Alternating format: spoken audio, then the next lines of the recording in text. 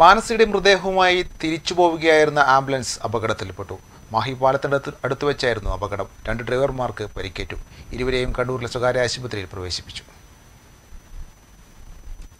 മാനസയുടെ മൃതദേഹം കണ്ണൂരിലെത്തിച്ച് കോതമംഗലത്തേക്ക് തിരിച്ചു പോവുകയായിരുന്ന ആംബുലൻസാണ് അപകടത്തിൽപ്പെട്ടത്. മാഹിപ്പാലത്തിന് സമീപം പരിമടത്ത് വെച്ചാണ് അപകടമുണ്ടായത്. ആംബുലൻസിലുണ്ടായ രണ്ട് ഡ്രൈവർമാർക്കും പരിക്കേറ്റു. പരിക്കേറ്റവരെ കണ്ണൂർ മിംസ് ആശുപത്രിയിൽ പ്രവേശിപ്പിച്ചു. തലശ്ശേരിയിലേക്ക് വരികയായിരുന്ന ടാങ്കർ ലോറി ആംബുലൻസിൽ ഇടിക്കുകയായിരുന്നു.